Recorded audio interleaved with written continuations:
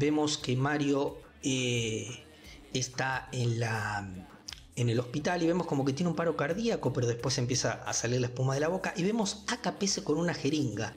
Antín mandó a matar a Mario, ¿sí? A lo cual me parece que esto que eh, pase en una última temporada, eh, digamos como que me hubiera gustado ver qué hubiera pasado si Diosito se enterara después que Antín mató a Mario y todo eso, ¿no?